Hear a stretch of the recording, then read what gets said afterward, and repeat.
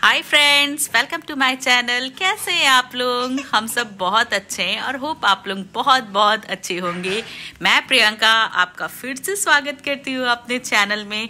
और आज ना, हमें पैकिंग करनी है। हम कहीं जा रहे हैं और जहाँ जा रहे हैं, वो एक सस्पेंस है सरप्राइज़ है। उसके लिए आपको मेरा नेक्स्ट व्लॉग देखना पड़ेगा। और हाँ हम नीदरलैंड से बाहर जा रहे हैं मतलब दूसरी कंट्री जा रहे हैं।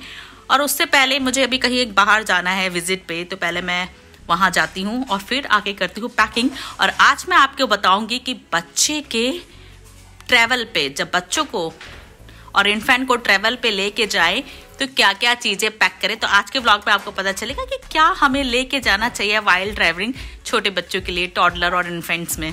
तो देखते रहिए मेरा ब्लॉग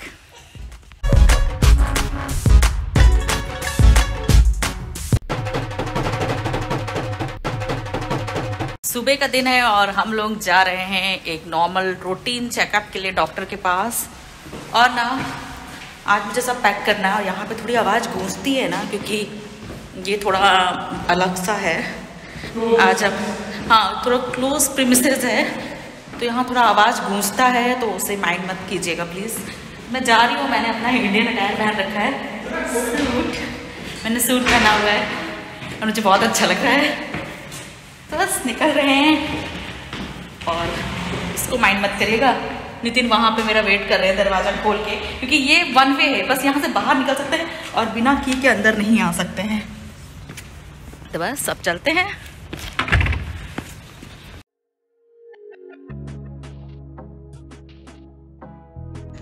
से हाय हाय और यहाँ पे ना कंस्ट्रक्शन का काम लगा हुआ है। तो ये मिट्टी उठाने वाली मशीन है मिट्टी उठा रही है और उसमें डाल रही है ट्रक में। फिर देखिए गर्ल्स के जूते ऐसे होते हैं। ये मेरे जूते देखिए आप साइड और यही आप नितिन के जूते देखिए। और अगर आप इन दोनों को अगल बगल देखेंगे ना लाइक किसके ज़्यादा चम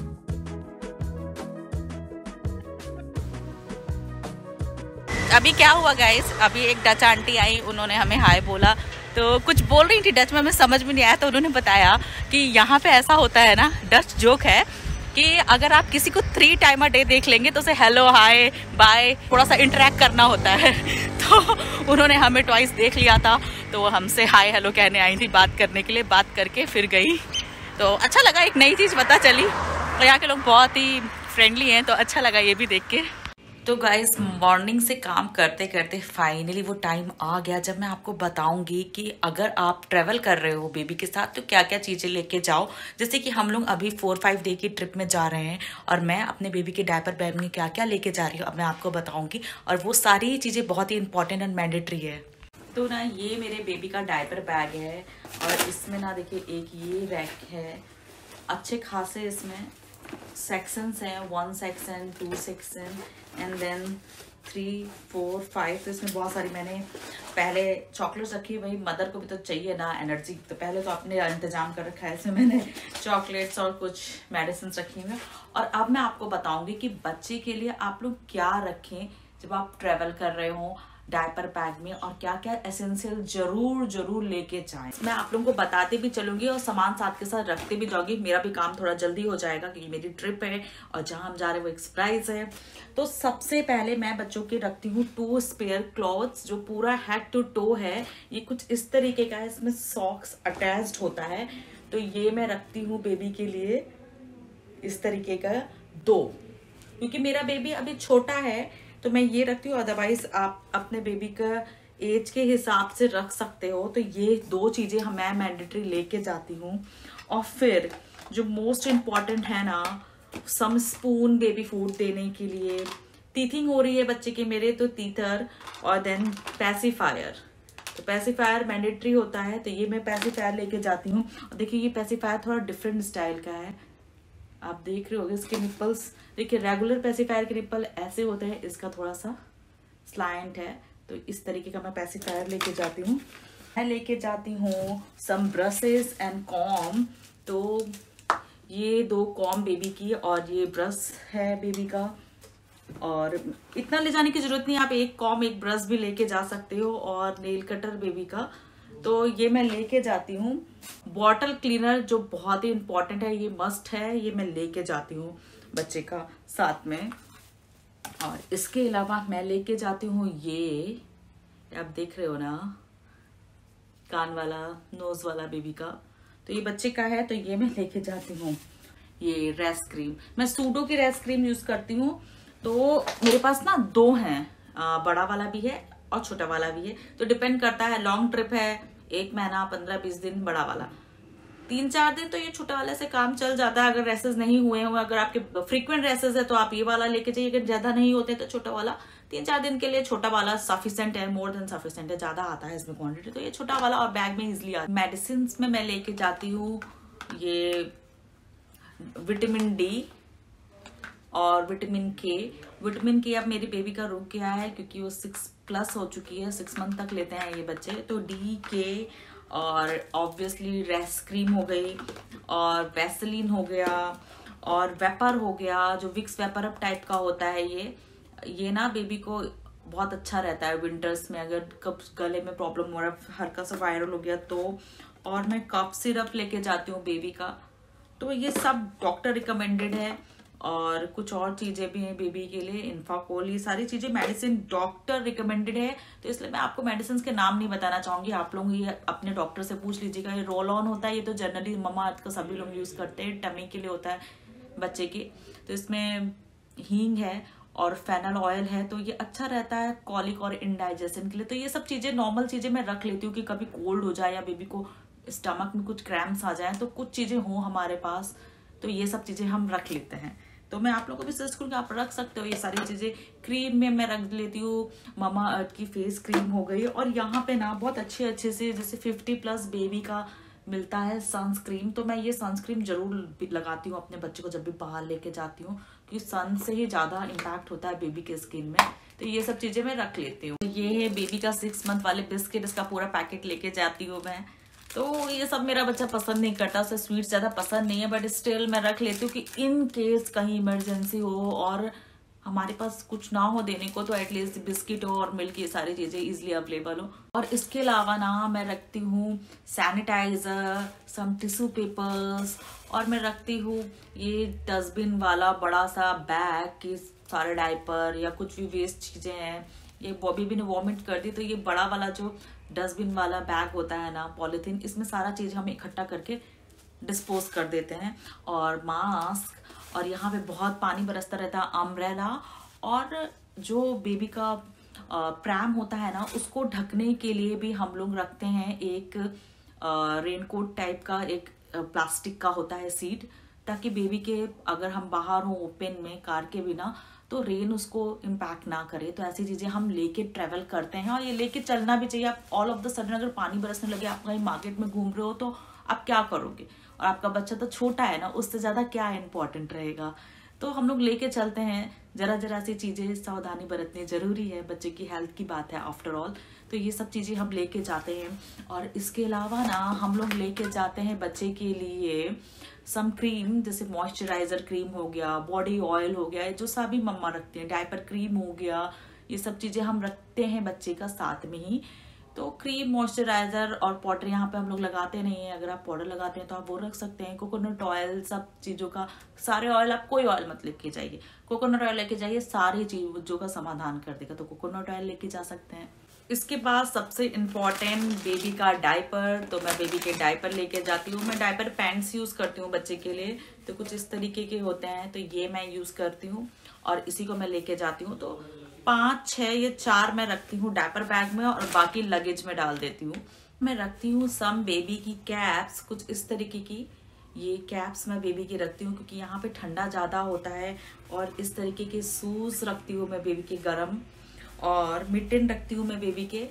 और ये सारी चीज़ें मैं एक पाउच है ना, ये सब पाउच में रख देती हूँ जाके इजिली मिल जाए। मैं, मेरी आदत है मैं मोस्टली सारा सामान ना, जैसे मैंने, आपको मैंने दिखाया होगा आ, ये इसमें मैंने पैसिफायर और सारे बेबी के स्पून तीथर और बॉटल क्लीन करने वाला रखा हुआ बॉक्सेस में रखती हूँ ताकि इजिली मिल जाए। ऐसे फैला रहेगा डायपर बैग में तो डिफ़िकल्ट होता है ढूँढने क्या करती हूँ एक के अंदर एक डाल देती हूँ ऐसे।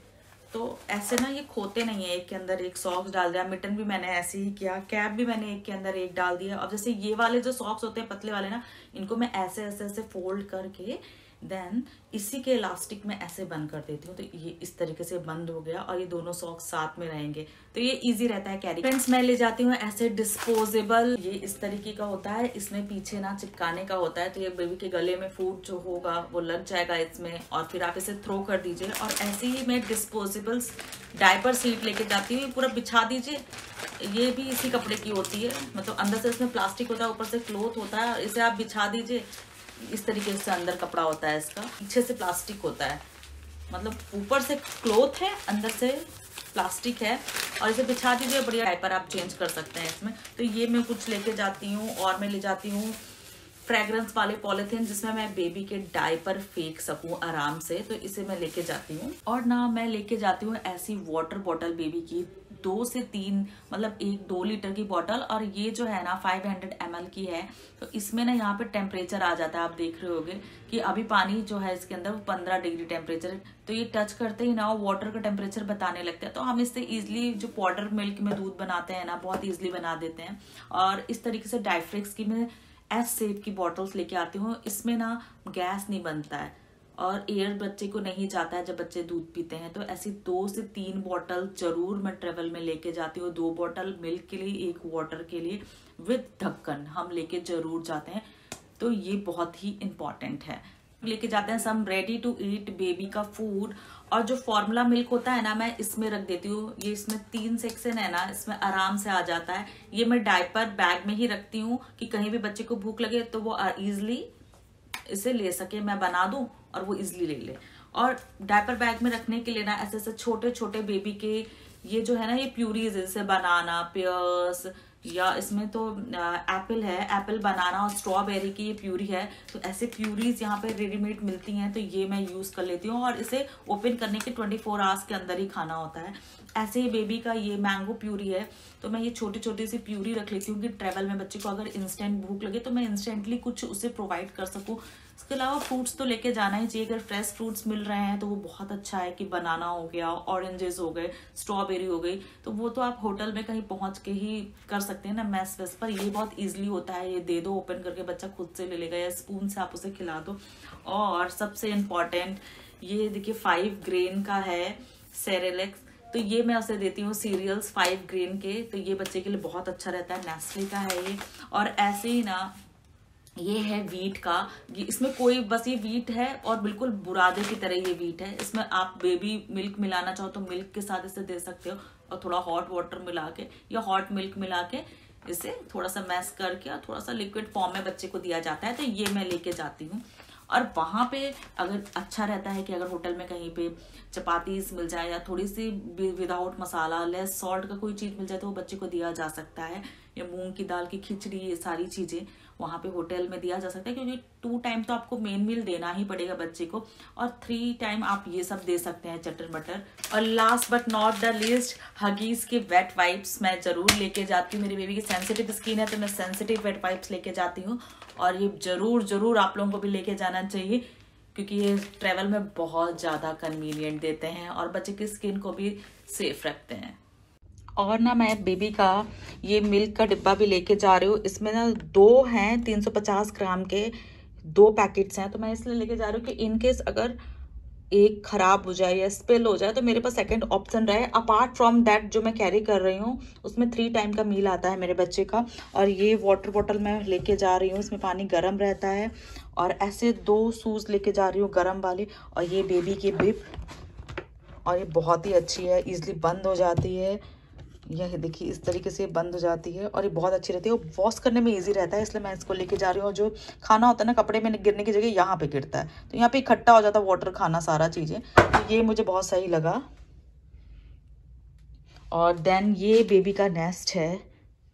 तो बेबी नेस्ट इंडिया में तो बहुत इजीली अवेलेबल रहता है, क्योंकि पता नहीं होटल में रूम कैसे हो, उसके बेड का कितना क्लीनिंग हो तो हमें अपने बच्चे का तो हाइजीन का खुद ही ध्यान रखना होगा। तो इसमें ना ऊपर नेट भी लगा हुआ है तो मॉस्किटो का भी कोई खतरा नहीं है। तो ये मैं लेके जाऊँगी। बाकी बेबी के जैकेट्स हो गए स्वेटर हो गए सम फ्रॉक हो गए वुलन क्लोथ सॉक्स तो ये सब तो नॉर्मल है, हर मम्मा ध्यान रखती हैं इन चीज़ों का कि गर्म कपड़े लेके जाने हैं बच्चे के। और इस तरीके के मैं पैकेट्स बनाती हूँ, जैसे इसमें ना मैंने सारी वनजी रखी हुई है बच्चे की और गर्म क्लोथ्स रखे हुए हैं। और फिर मैंने एक ऐसा बनाया है जिसमें मैंने बच्चे का ना, ये इस पैकेट में मैंने बेबी का रखा हुआ है सारा, जामे रखे हुए हैं, और गर्म सॉक्स जो ऊपर तक के होते हैं ना, यहाँ पे ऐसे मिलते हैं सॉक्स पूरे ऊपर तक के पैजामे तक के। मतलब देखने में वो पैजामा जैसा ही होता है टाइट होता है। स्टॉकिंग्स मान लीजिए आप बेबी के स्टॉकिंग्स में रख ले रही हूँ टाइट बोला जाता है उसे। तो ये मैं रख रही हूँ। फिर बेबी के कुछ ये कॉटन वाले क्लोथ्स हैं मुँह बेचने के लिए तो ये रख ले रही हूँ मैं। और सॉक्स बहुत ज़्यादा सॉक्स ये बच्चे सॉक्स ज़्यादा गंदे करते तो ये मैं सॉक्स लेके जा रही हूँ। और some new clothes some old clothes तो यही सब पैकिंग चल रही है अभी। ये ना मेरा लगेज है तो ऑलमोस्ट रेडी है। तो नितिन बोल रहे हैं, ये बड़ा बैग मत ले जाओ, ऐसे वाले बैग लेके जाओ। देखो, कुछ डिसाइड करते हैं। तो चल रहा है अभी यही और दिस इज़ सो क्यूट ये कितना प्यारा लग रहा है ना, मुझे लग रहा है कि बड़ा रहेगा बेबी को। नाइस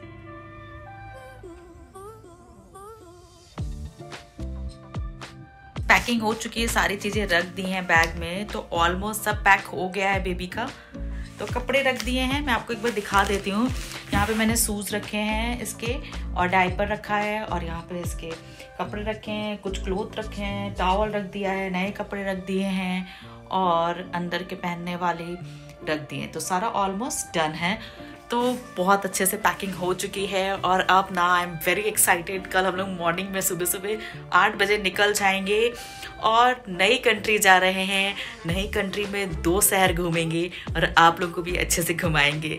मिलते हैं नेक्स्ट ब्लॉग में। Do like share subscribe to my channel bye